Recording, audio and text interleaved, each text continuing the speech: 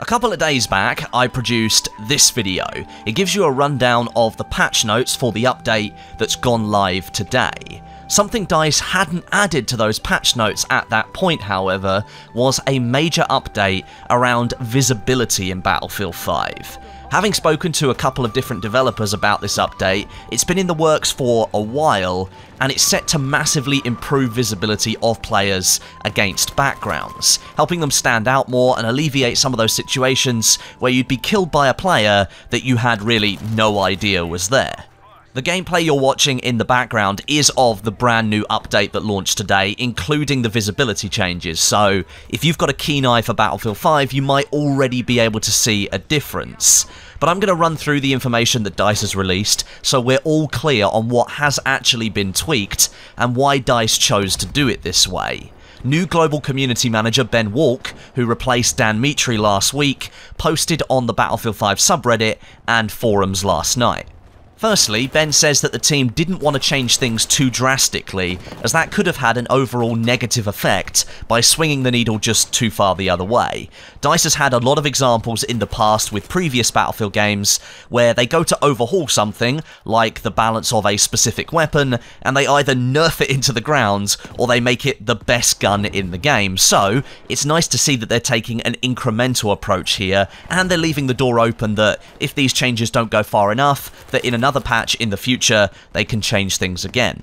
The changes will make soldiers slightly more visible, with clearer distinctions between friendly and enemy players. Friendly players will have a lower level of visibility, so they attract less attention whilst you're looking out for threats. The intent behind these changes is to balance soldier visibility with the camouflage effect that their uniforms have. Many of the options you have in Battlefield 5 offer different camos for different environments, and DICE wants to preserve that option.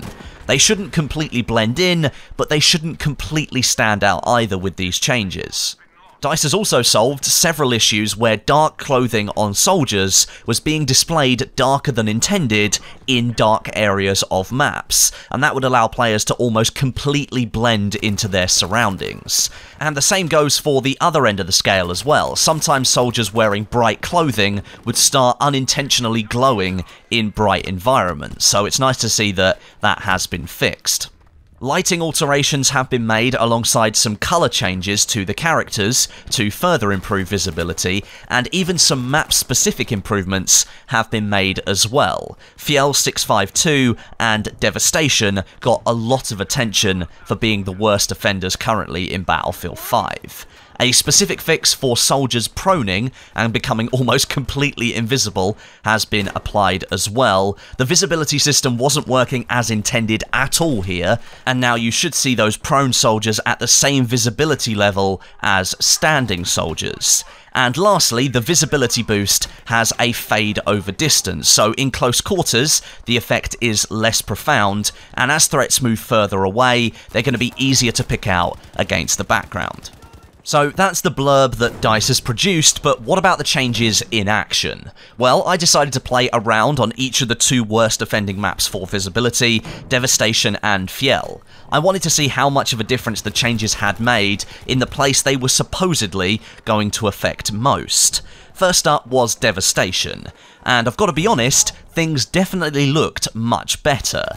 Most of the map puts players on dark backgrounds. That gave me a great chance to see what moving soldiers, both friendly and enemy, now look like, and things are definitely clearer for sure. There's none of this white glow around the edges of players at all like some people were saying was going to be the case with this update, and instead, the map appears to just have more visual depth players look like they're now on like a separate layer to the background. That's probably the best way that I can really describe it. There's no stark contrast between these two layers, but the fact they now feel more separated by the changes that DICE has made meant that I could actually track enemies easily and spot movement in darker areas. That gave me a chance to return fire or even get the jump on an enemy. One of the developers I spoke to about these visibility changes said that Devastation was used as the test target for the visibility changes, and so it's very likely that this map will be the most improved of them all. Previously dark areas like close to the walls, inside the cathedral around the C flag, and the upstairs walkways located along the main road between the C and the D flag, and over at the library as well, are now fairer locations for gunfights, because players aren't running around masked under this unrealistic shadow where you can't see them. The lighting of those locations is of course still quite dim, but you're still able to see somebody moving around and standing up over there. This update makes sure that that's the case, and it makes those locations a little bit more active. Moving on now, I want to show you my Fjell gameplay, and I have a really good example to show you right off the bat. Here, an enemy caught me off guard whilst I was searching for them as the last person on a flag after we captured it, and you get a really good look at the visibility changes applied to soldiers because he's standing against a simple background that's very different from the soldier's camo. There's no discernible lighting ring around him, he's not glowing unrealistically, he just simply doesn't flatten against the background when you look at him. And this is probably the best example that I can give you of this this visibility change. It's not going to make it so that Battlefield 5 becomes a game where you just can't move or you'll be spotted. It simply makes it clearer to you that somebody is standing right in front of something, and then from that, you have a chance to return fire or do something about that soldier standing there.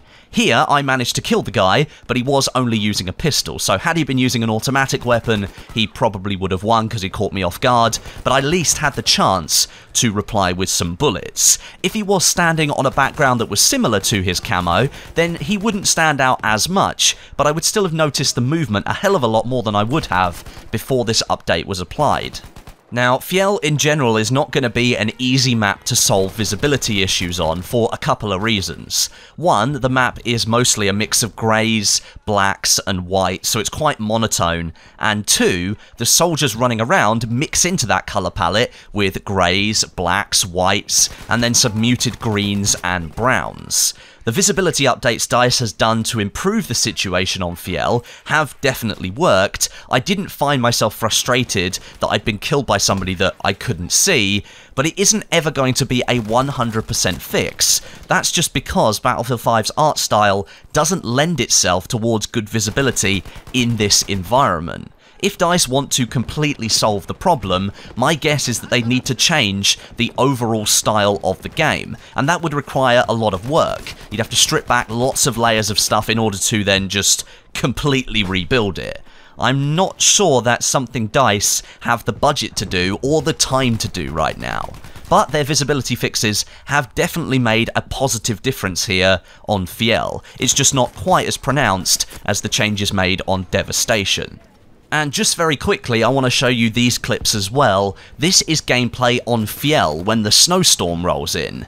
Now, after the visibility update, gameplay is infinitely better than it was before, and I'd even go as far to say that it's better than the standard normal sunshine weather on this map as well. The storm hides a lot of the lighting that simulates the sunlight on the mountain, and that shows off the improved visibility a hell of a lot more than during normal conditions.